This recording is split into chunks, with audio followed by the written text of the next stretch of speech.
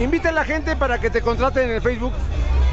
Eh, me pueden encontrar como Janet con doble A y doble E. Y bueno, ahí cualquier cosa